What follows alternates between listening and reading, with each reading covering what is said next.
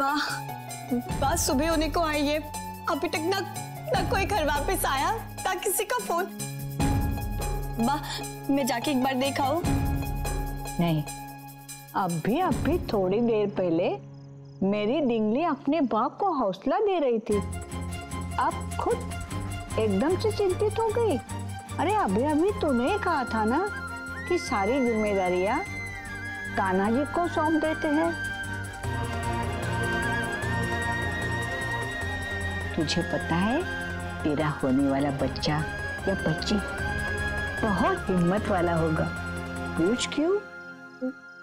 क्यों वाह क्योंकि सारा दिन उसे नानी परनानी दादी परदादी मासी की शौर्य कथाएँ जो सुनने पर मिल रही है। ये पैदा होते ही सबको अपने उंगलियों पे नचाएगा। हाँ और खास करके अपनी मासी को। आप जानती है माँ? तीस बच्चे को लेके कितनी एक्साइटेड थी।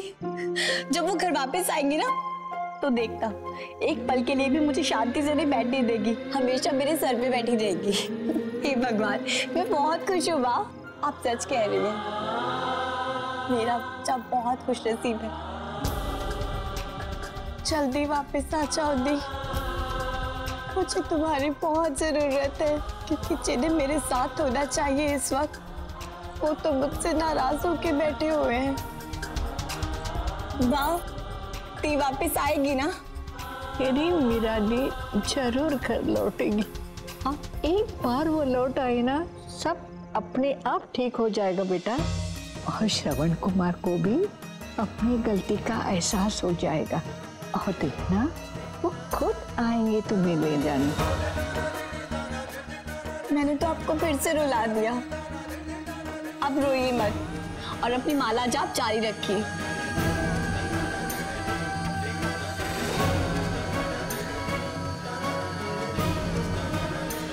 आज ही समय बीतता जा रहा है। अब हम वहाँ करेंगे, कैसे निकलेंगे? हम मीरा को कैसे बचाएँगे बच नहीं बहू, घर का कोई भी सदस्य हिम्मत नहीं हारेगा। समय बीत चुका है, उसके बारे में मत सोचो। पर अब भी जो समय बाकी है, उसके बारे में सोचो। कैसे भी करके हमें अदालत पहुँचना ही है। अब हमें अदालत तक पहुंचाना कृष्ण भगवान की ज़िम्मेदारी है।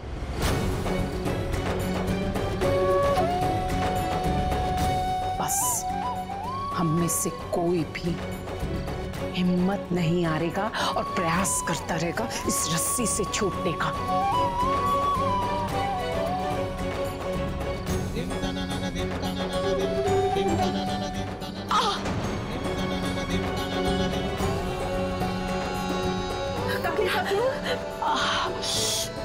माँ जी आपको तो बहुत चोट आई है खून निकल रहा है। किसी को भी परेशान होने की आवश्यकता नहीं है।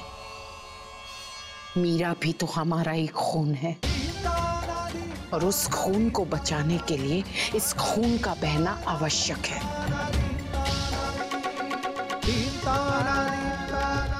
जी,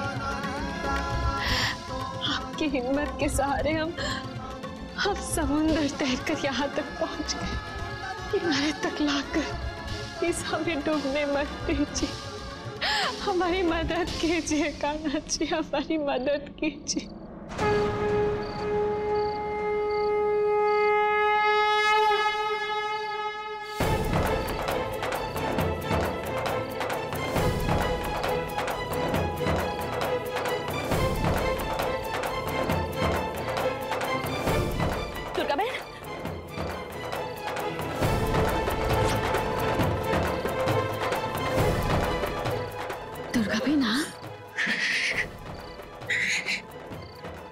जानती थी दुर्गा बहन।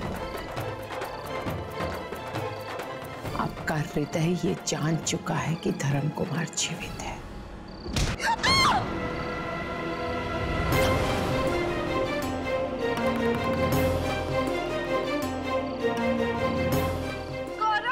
दुर्गा बहन। अधड़ी मूर्ख नहीं सरदार। छोड़े मुझे पता था तू ऐसे ही करेगी। बहुत दया आ रही है ना तुझे इन मोदियों पे हैं? गौरा छोड़ दुर्गा बहन के बाल। चुप चुप कोकिला। दुर्गा बहन को छोड़ दीजिए। छोड़ दीजिए उन्हें। छोड़ ही दूँगी इसे। जंगल में जाके छोड़ दूँगी। हीर के जंगल में वासनी के बीच में कहाँ जाएँगे तुझे फिर। तक आप डरा धमका कर इस तरह से आपके वश में रखने की कोशिश करेंगे। कभी ना कभी तो इनका भी धैर्य टूटेगा ही ना। ये ये मुझे धमकाएगी। ये हाँ मुँह पे मक्खी होती है तो उसे नहीं उड़ा सकती है। मुझे धमकाएगी। तू इस घर में नौकरानी बन के रही है और तेरी औकात भी नौकरानी की है। समझे? तुम लोगों को क्या लगा? ये तुम्हें बचाने आएगी? अरे जो खुद को नहीं बचा पा रही, वो इन लोगों को क्या बचाएगी? ये वो चाबी वाली ढिंगली है, जो जितना चाबी भरो, उतनी ही चलती है।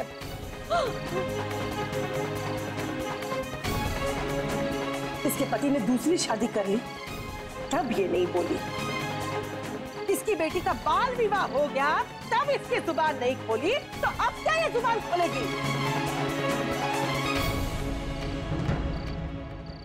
चप्पल भी अगर घिस जाती है ना तो वो चू चू करके आवाज़ करने लगती है।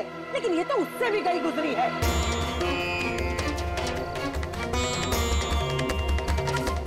पूरी ज़िंदगी इससे मैंने मसल के रखा है, और ये ऐसे ही रहेगी बाकी की ज़िंदगी।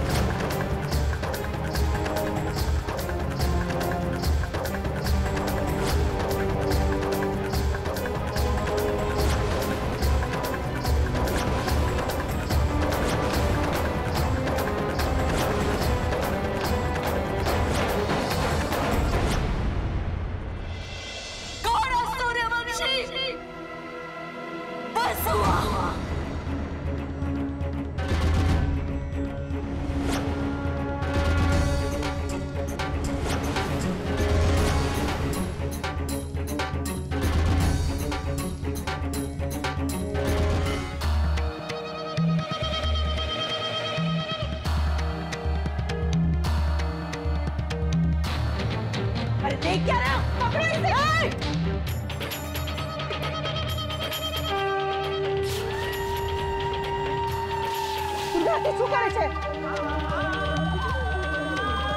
अगर किसी ने एक भी कदम आगे बढ़ाया ना तो काट दूंगी इसको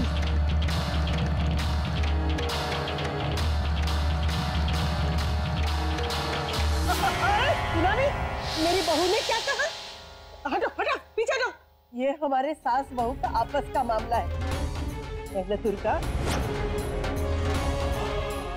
ये सब मैंने तेरे लिए किया चुप और एक भी शब्द नहीं। कुछ भी बोला ना तो तेरा सर भी उस गमले की तरह ऐसे फोड़ूँगी कि तेरी सारी अकल और अकड़ एक साथ निकल आई कल आई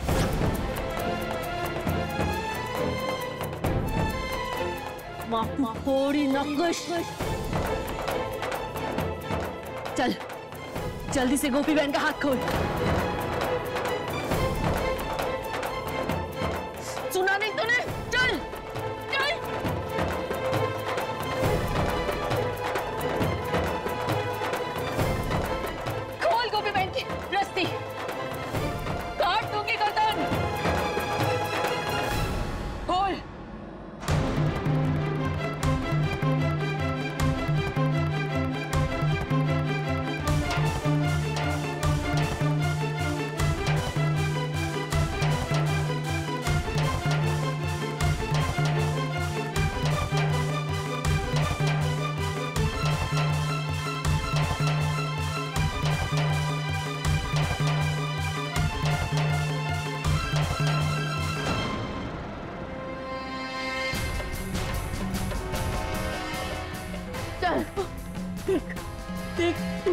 कर रही है?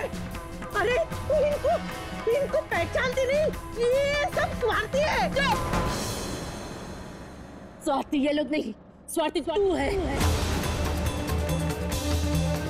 सबके खिलाफ एक भी शब्द बोला ना तो तेरा गला काट दूँगी।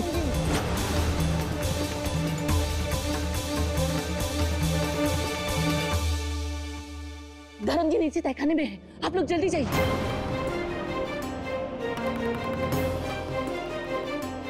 दुर्गा। अहम दिख रहा है। जिगर जल्दी से जाओ और धर्म कुमार को लेकर आओ।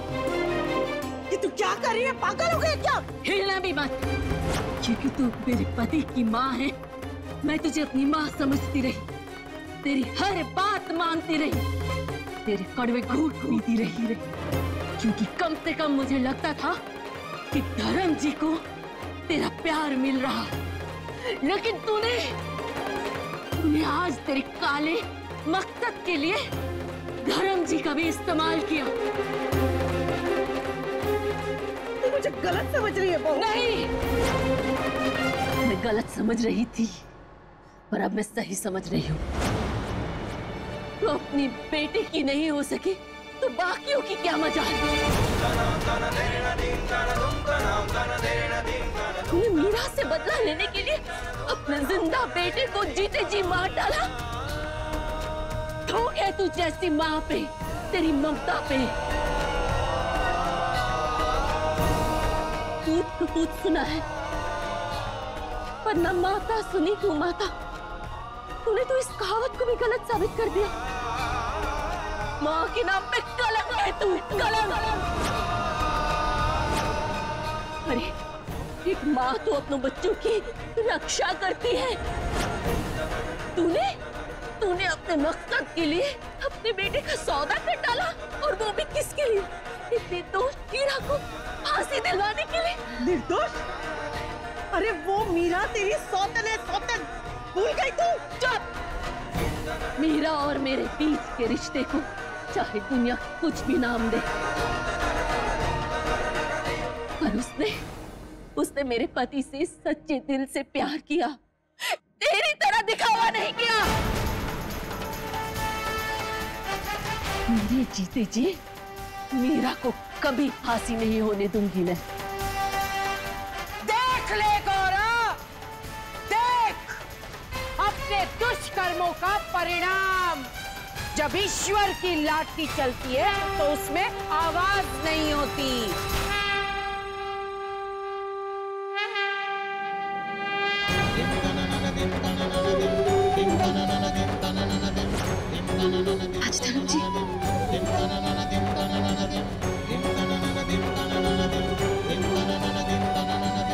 होली ऐसे मनाते हैं। और ऐसे।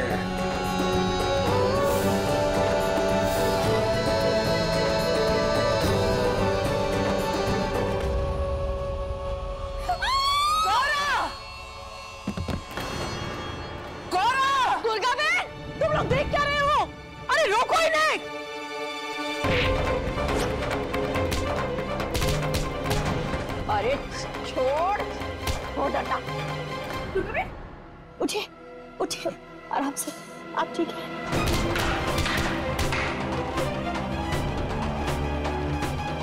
पकड़ो इन्हें। धर्म यहाँ से जाना नहीं चाहिए। जल्दी जल्दी सुबह हो गई है हमारे वक्त नहीं है।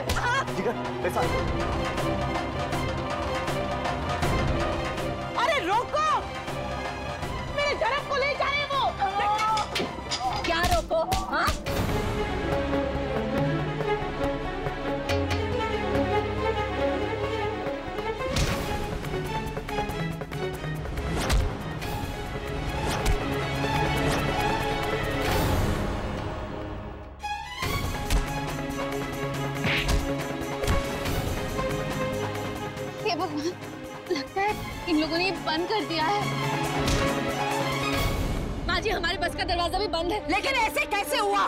माँ जी मुझे लगता है गौरा मासी के गुंडों ने ही बंद कर दिया होगा। हमें दूसरी गाड़ी देखनी पड़ेगी। किसी भी हालत में धर्म कुमार को लेकर जाना ही होगा। गोपी वो वो एक गाड़ी है गौरा की या धर्म कुमार की? मैं जैसे देखो।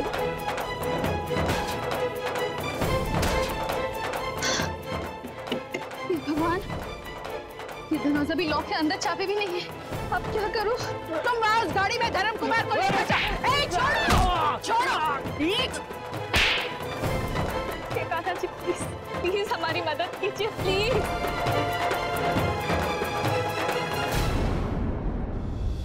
साथ निभाना साथिया।